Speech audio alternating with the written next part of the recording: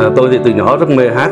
Và chắc thì cái đó cũng là di truyền từ ba tôi đó. ông là trước là cũng làm diễn viên dân ca sứ quảng ở trong xã trong làng. Nhưng sau đó thì không ngờ là cái cơ duyên mà ca hát của tôi là bắt nguồn từ cái nghề sửa điện tử này. À, từ đó TV thì đăng nổi cái chương trình lên SV96 bữa đó tôi ôm TV ngồi sửa thì tình cờ bật trúng ngay cái chương trình của tụi sinh viên nó đang hát hò quá vui say tự nhiên bắt đầu thèm lây với tụi nó luôn sau đó thì mới có một bài hát mà tôi nghe một lần là không thể mà quên được. Sau đó mới lấy cái cassette thu lại mà cái bài hát mình yêu thích ừ, để mình hát theo, tập theo cái bài hát đó. Từ đó tôi lấy cái sự ca hát làm niềm vui trong công việc.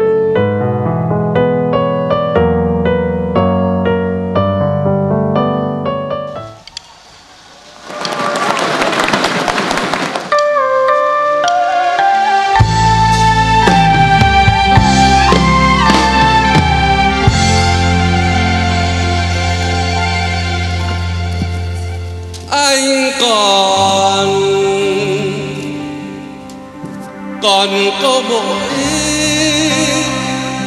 mỗi cây đàn. Anh đem là đem bán lô anh theo là theo cô nàng. Hàng trẻ xinh, ôi tình kia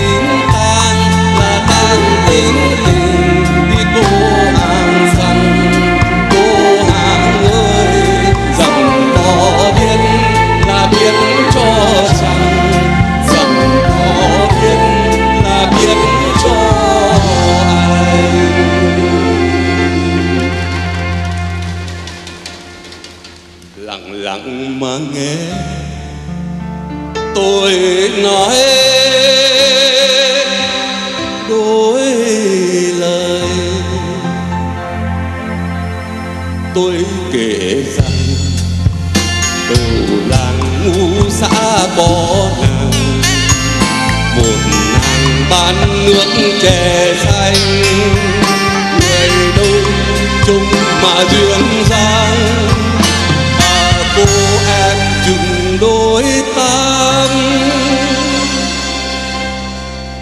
miệng cô như là hoa, đóa hoa thật tươi, trông càng say đắm. Mắt cô đã tình duyên bao chàng trai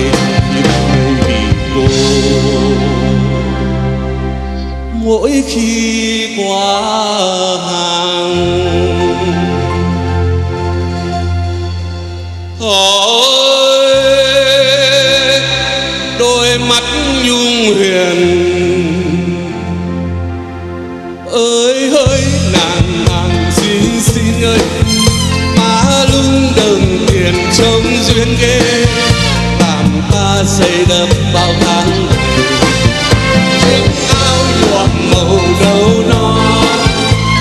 Với ra người nàng thon thon làm tôi say đắm vào ngày tháng vì cô em quá xinh nàng ơi, anh đã yêu nàng. Quyết chí cùng nàng nên duyên lúc vì nàng thâu đêm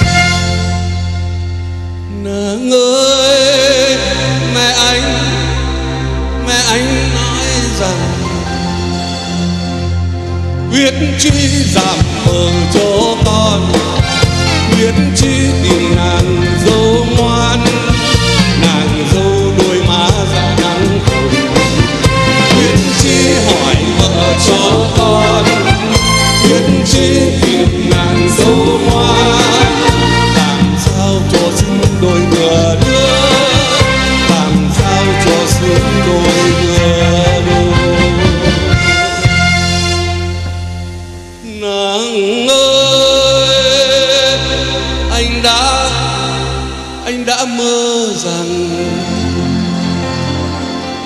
đám cưới vợ chồng đôi ta khắp xóm cùng làng pha xe. Người ra xem đúng rồi nói rằng đám cưới thật là to ghê. Đám cưới thật là xin đôi. Người ta cầu chúc chú về mới cùng cô dâu sống yên bạc.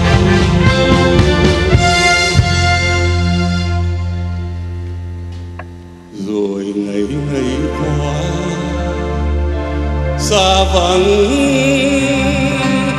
quán hàng. Lúc trở về trở về để kiếm cô nàng chập mối tình xưa. Vì em đã rời nơi ấy. Để cho quan hàng lạnh lẽo. Ơi, hỡi, ơi nàng ơi biết cho lòng anh đã bao năm trước. Anh đã yêu nàng đến bây giờ thì biết đâu tìm ơi ơi ơi.